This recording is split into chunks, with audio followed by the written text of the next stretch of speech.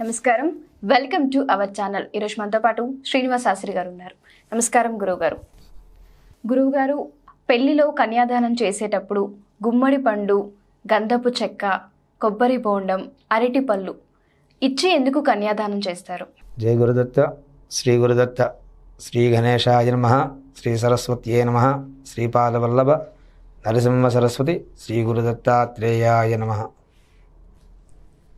చాలా చక్కనైనటువంటి ప్రశ్న వేశావమ్మ అసలు కన్యాదానం ఎందుకు చేయాలి? ముందు అది తెలుసుకోవాలి. ఆ కన్యాదానంలో ఇవి ఎందుకు ఇవ్వాలి అనేది రెండో కృష్ణ.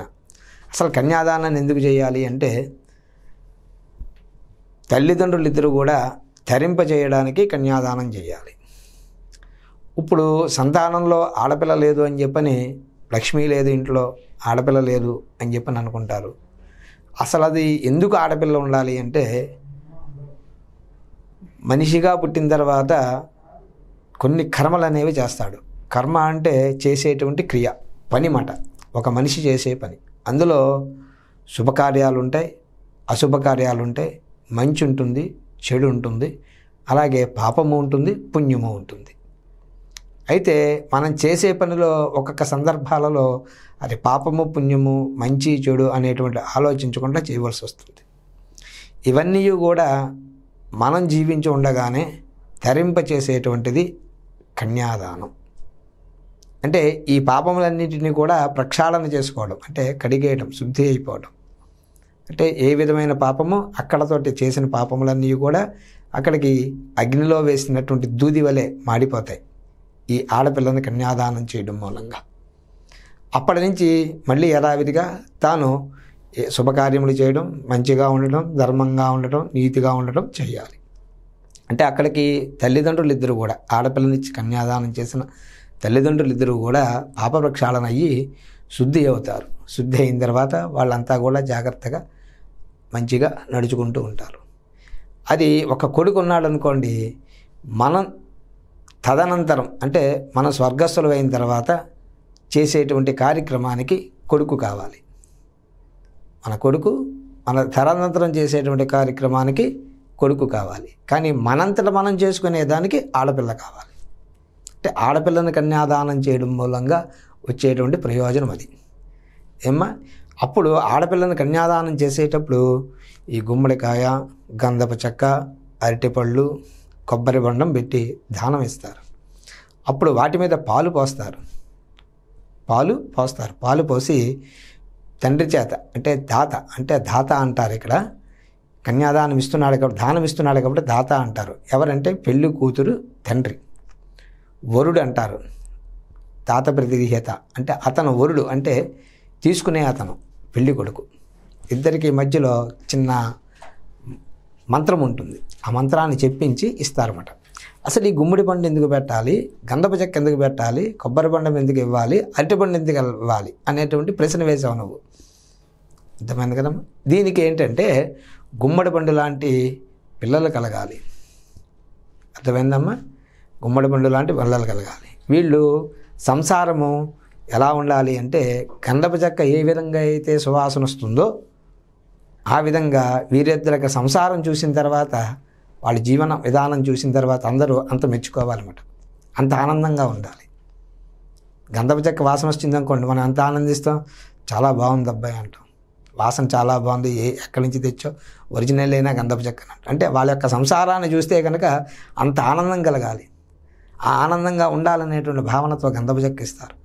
గుమ్మడి బండ్లు లాంటి కొడుకులు పుట్టాలనేటువంటి భావనతో ఇస్తారు కొబ్బరి బండల్లో నీళ్ళు ఉంటాయి ఆ నీళ్ళు ఎక్కడి నుంచి వస్తాయి? ఎలా వస్తాయి? అనేది ఎవరికీ తెలియదు ఎక్కడో చెట్టు పైన కాయలు ఉంటాయి కింద భూమిలో వేర్లు ఉంటాయి ఈ మధ్యలో వచ్చేటువంటి నీరు ఆ కాయలోకి ఎలాగొస్తుంది? ఎన్నో కాయలు ఉన్నాయి కానీ నీళ్ళు ఉండవు ఈ ఒక్క కాయలోనే నీళ్ళు ఉంటాయి అవి కూడా తీయగా ఉంటాయి. ఎందుకుంటాయి అంటే ఆ యొక్క సృష్టికర్త యొక్క ప్రజ్ఞ అక్కడ. ఆ విధంగా కొబ్బరి నీళ్ళు ఏ విధంగా అయితే తీయగా ఉంటాయో ఆ విధంగా మీ యొక్క సంసారము భార్యాభర్తల యొక్క సంసారము పెళ్ళి కొడుకు పెళ్ళి కూతురు కూడా భార్యాభర్తల యొక్క సంసారము చక్కగా తీయగా ఆనందంగా ఉండాలని. అలాగే అరటిపండు ఇస్తారు. అది ఎందుకు ఇస్తారు అంటే తాంబూలాలు ఇచ్చిన ఏమి జరిగినా అరటిపండు ప్రధానం. ఆ అరటిపండు ఏమిటంటే ఎంగిలి పడనటువంటి పండు. ఏం తిన్నా సరే ఎంగిలి పడుతుంది. సీతాఫలం తిన్నా ఎంగిలి పడుతుంది. మామిడి పండు తిన్నా ఎంగిలి పడుతుంది. జామకాయ తిన్నా గింజలు ఉంటాయి. ఎంగిలి అంటే మనం తిని పాడివేసినటువంటి ప్రతి ఒక్క విత్తనము అందులో ఉన్న ప్రతి ఒక్క గింజ నుంచి మళ్ళీ మొక్కలు వస్తాయి. కానీ అరటిపండు దగ్గర అలా వేయడం లేదు. ఎప్పుడైనా విన్నామా మనం? అరటిపండు విత్తనాలు వేసారని అరటిపండు అరటి చెట్టు ఉంటుంది. అరటి చెట్టుకి ఒక దుంప ఉంటుంది కిందన. ఆ దుంప నుంచి ఉత్పత్తి ఇది అయ్యి ఉత్పత్తి అయ్యి అది అరటిపండు ఏర్పడుతుంది. మళ్ళీ అరటిపండు తినేసి మనం గింజలు వేసేయడానికి కుదరదు. అంటే అందులో కలిసిపోయి ఉంటాయి కలిసిపోయి ఉంటాయి. బయటికి కనపడవు తీసివేయడానికి. అందుకని చెప్పిన అరటిపండు ఎంగిలి కాని పండు. కాబట్టి శుభానికి సూచికం అది. కాబట్టి మీరు కూడా ఇతరత్రావైనటువంటి అంటే ఇక్కడ ఒక ధర్మం చెప్తారని చెప్పాను కదా ఆ ధర్మ ప్రకారం నడుచుకోవడానికి ఇతరత్ర మీ భార్యాభర్తలిద్దరికీ కూడా ఏ విధమైనటువంటి ఆలోచనలు లేకుండా చక్కగా ఉండాలని చెప్పనేటువంటి భావనతో అరటిపండ్లు ఇస్తారండి. ఈ యొక్క నాలుగుని ఇచ్చి కన్యాదానం చేస్తారు. ఆ కన్యాదానం చేసినప్పుడు వాటి మీద పాలు పోస్తారు. పెళ్ళి కొడుకు చేతులు ఎలా పెట్టి పెళ్ళి కూతురు చేతులు పెట్టించి అందులో వాళ్ళిద్దరి చేతుల్లో ఈ గుమ్మడి పండు కబ్దపు చక్క పెట్టి పాలు పోసు చెప్తారన్నమాట ధర్మేచ అర్ధేచ కామేచ త్రయేష నాతి చరితవ్య అని చెప్తారు. ఎవరు? పెళ్ళి కూతురు తండ్రి.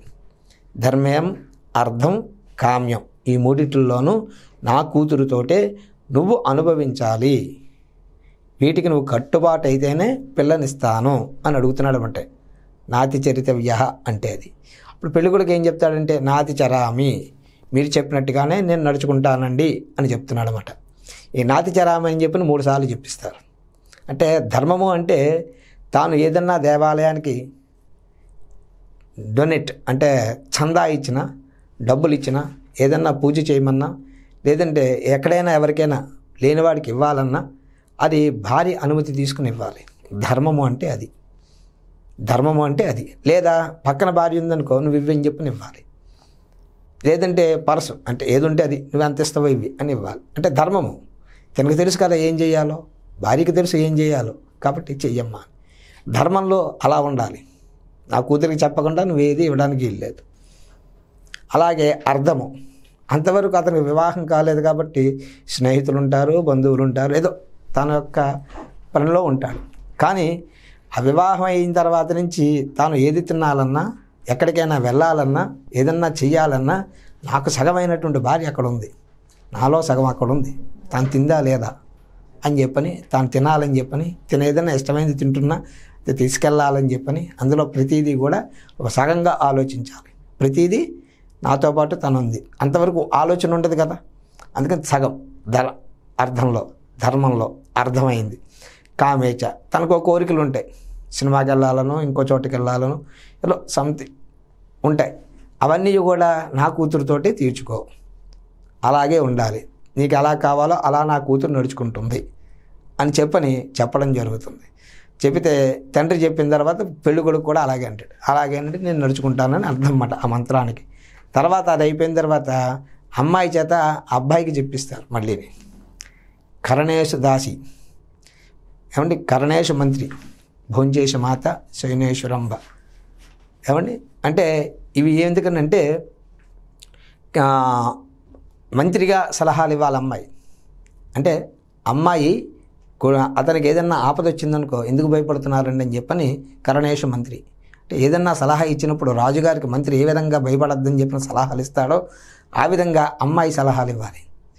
అమ్మాయి సలహాలు ఇచ్చి చక్కగా అతన్ని నేర్పరిగా నడిపించాలి. ఏమండి? భోంజేషు మాత. అతను ఏం సంపాదించి తెచ్చుకొచ్చాడు? జోబీ ఎంత నిండింది? మనకు డబ్బులు ఎంత ఇస్తున్నాడు? మన పరిస్థితి నిందా బ్యాంక్ బ్యాలెన్స్ ఉందా అని చెప్పి ఆలోచించకూడదు.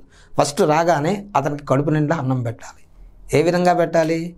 తల్లి ఏ విధంగా అయితే ఇంకో కొంచెం తినరా ఇంకో కొంచెం తినరా అంటుందో మీ గురించే చేశానండి మీ గురించే చేశాను మీరే తినాలి మీరు తిన్న తర్వాతే మీ గురించే అని చెప్పి పెట్టాలి మటండి. అంటే భోంచేసి మాత. తల్లి ఏ విధంగా అయితే తిను తిను అని పెడుతుందో అదే విధంగా భోంచ భోజనం పెట్టేటప్పుడు భార్య తల్లిలా పెట్టాలి. తినండి తినండి తినండి అని. ఏమండి? ఈ విధంగా పెట్టిన తర్వాత శైనేశ్వరంబ అతనికి ఇష్టం వచ్చినట్టు మీ వ్యవహారం జరుగుతుంది.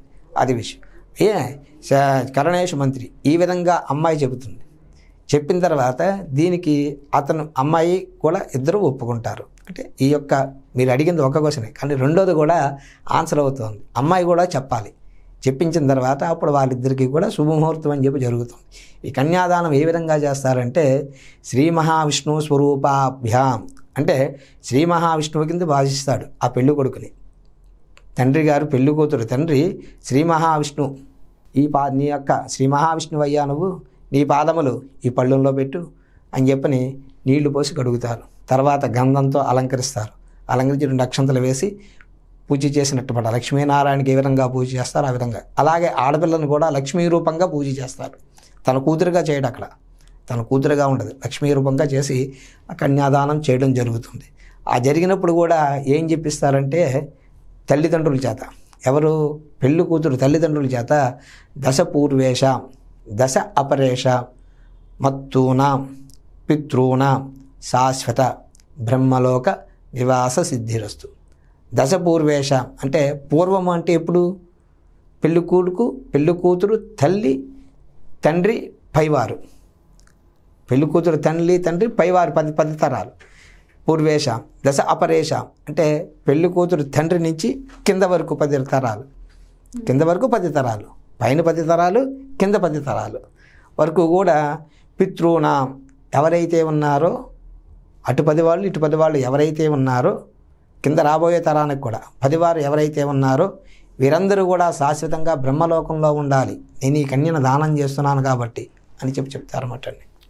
దశపూర్వేషాం దశాపరేషాం పిత్తోన శాశ్వత బ్రహ్మలోక నివాస సిద్ధిరస్తు అని. అంటే ఈ ఆడపిల్లని కన్యాదానం చేయడం మూలంగా వచ్చేటువంటి ప్రయోజనం ఏమిటంటే మనంతట మనం మన శరీరకంగా ఉండగానే మనల్ని మనం శుద్ధి చేసుకోవడం శుద్ధి చేసుకుని చక్కగా మంచి అయినటువంటి భావనలతో తర్వాత నడుచుకోవడానికి అంటే మన యొక్క పాపవృక్షాలను చేసుకోవడానికి ఇంట్లో ఆడపిల్ల ఉండాలి. అంటే పాపవృక్షాలను చేయడానికి ఆడపిల్ల కావాలా అంటే కొంతమందికి కొంచెం ఇదిగా ఉంటుంది కాదండి. ఆడపిల్ల పుడితేనే మన పాపం ప్రక్షాళన అవుతుంది.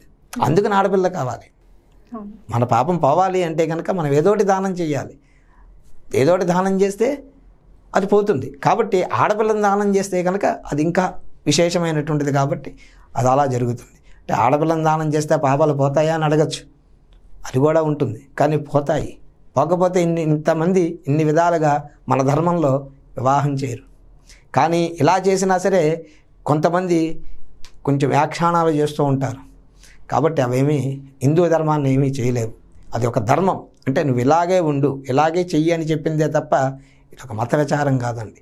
హిందూ ధర్మము అంటే ఒక మనిషి ఏ విధంగా జీవిస్తే తనకు పాపమును అంటుకోకుండా పరమమైనటువంటి మోక్షాన్ని పొందుతాడో అది చెప్పేటువంటిదే ధర్మం. హిందూ ధర్మం. ఏమ్మ? నువ్వు అడిగినటువంటి ప్రశ్నలో ఇంత అర్థం ఉంది. ఒక గుమ్మడికాయ గంధపు చెక్క అరటిపండు ఇవే ఎందుకు పెడతారండి అని అంటే ఇప్పుడు వివాహాలు కూడా చాలా స్పీడ్గా జరిగిపోతున్నాయి. ఇదివరకంటే ఒక గంట ముందు రెండు గంటల ముందు ఐదు గంటల ముందు కూర్చుని చక్కగా చేసేవారు ఇవన్నీ చెప్పించుకునేవారు జరిగేవి. ఇప్పుడు ఏముందండి? పది నిమిషాల ముందు వస్తున్నారండి జరిపించేస్తున్నారు కార్యక్రమం.